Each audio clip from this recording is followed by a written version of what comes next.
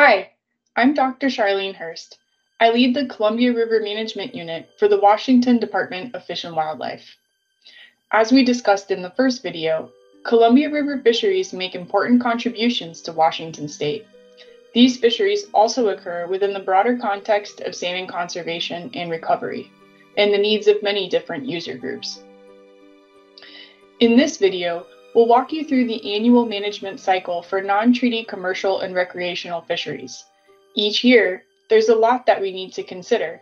The unique life cycle of salmon and steelhead, the requirements for staying within our harvest constraints, and the need to share and coordinate management of fisheries with different user groups. Throughout this process, we prioritize conservation and aim to maximize sustainable opportunity for Columbia River fisheries within those conservation parameters. Salmon and steelhead are anadromous fish, which means they spawn in freshwater rivers, live in the ocean for a couple years, and then migrate back to the same river where they spawn to reproduce. Because of this complex life cycle, salmon and steelhead rely on multiple habitats both in freshwater and in the ocean, interacting with different user groups along the way. For example, a salmon born in a small stream in central Washington migrates past hydroelectric dams, predators, and cargo ships on its way to the ocean, and encounters ocean fisheries and marine predators as it migrates through the Gulf of Alaska and Canadian waters before returning to the Columbia River. This fish's chance of survival is also strongly influenced by fluctuating environmental factors like floods, droughts, water temperatures, and ocean currents.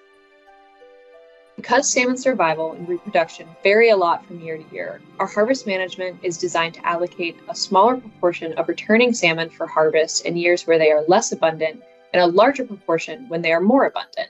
By adjusting harvest with abundance, we aim to protect stocks when their populations are low and offer more fishing opportunities when their stocks can support it. We call this abundance based harvest management.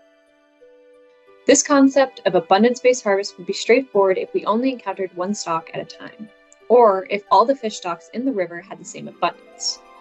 But in reality, when we go fishing, we're likely to encounter fish from many different stocks, all with different levels of abundance.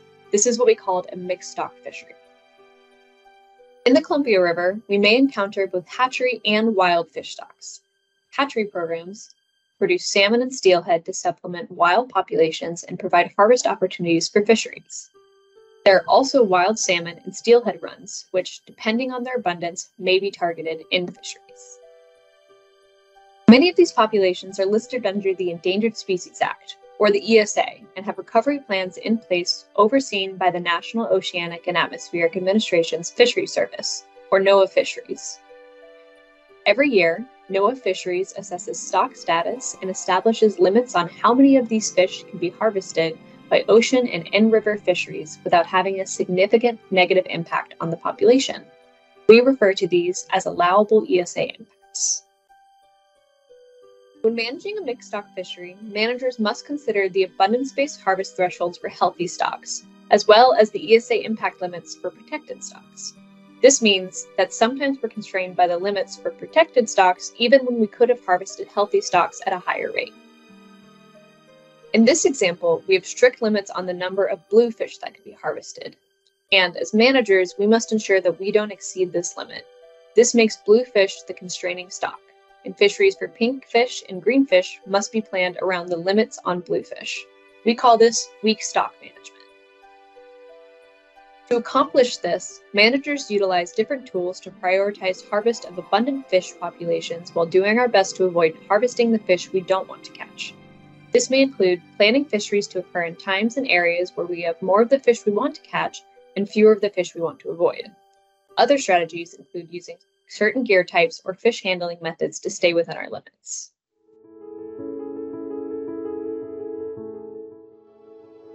Communities have been managing fisheries on the Columbia River for centuries.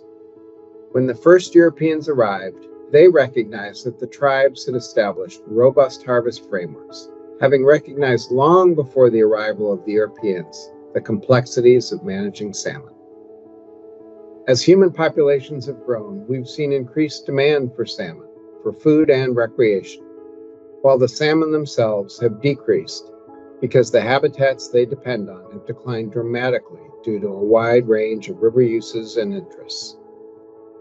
By the early 20th century, managers and scientists knew we needed a conservation framework for salmon. And in the decades since, management has become more sophisticated and complex to meet our conservation and sustainability objectives. Commercial and recreational fisheries on the Columbia River also occur in a much broader context. There are many different user groups that rely upon salmon resources. Those include tribal nations in the US and Canada, and ocean and in river harvesters from Alaska to Oregon and Idaho. As a result, management for Columbia River fisheries is a complicated coastwide process of coordinating all the different managers who regulate salmon fisheries at many different times and places. This coastwide framework is essential for salmon conservation and recovery and ensuring that tribal fishing rights are upheld and respected. Core aspect of this process is working hand in hand with the Columbia River Treaty Tribes and with our state and federal partners to collaboratively manage these important resources. We've come a long way in recent years in our ability to collectively manage fisheries and learn from our mistakes. Both state and tribal managers bring skilled capacity to the management process, and we've adapted to better acknowledge the unique value of wild salmon and steelhead within the ecosystem.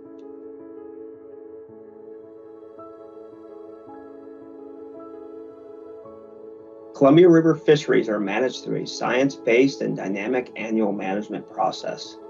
One of the key aspects of this process involves establishing harvest limits for the various stocks and allocating the available harvest through a structured framework.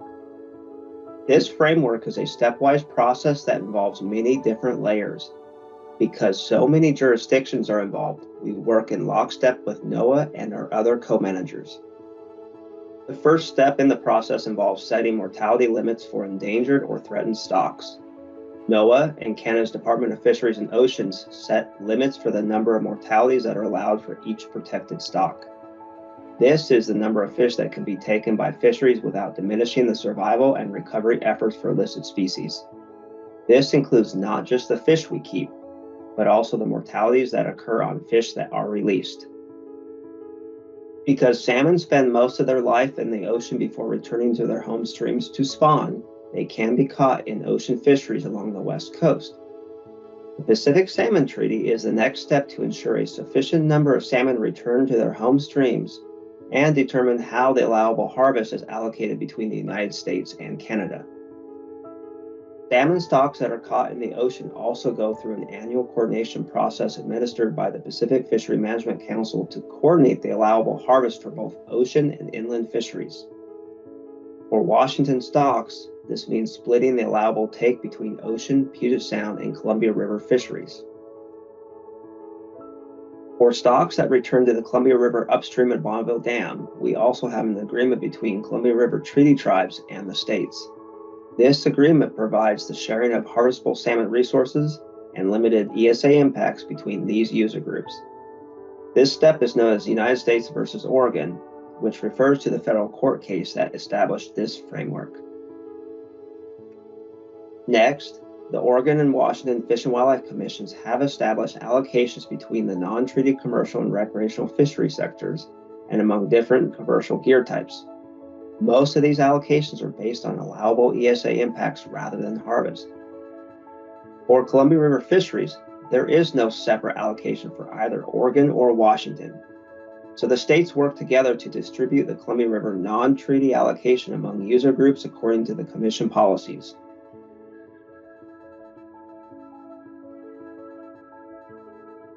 Once we know how many fish can be harvested for healthy stocks, and how many allowable ESA impacts we have for listed stocks, managers make decisions through a public process to plan fisheries within our harvest constraints.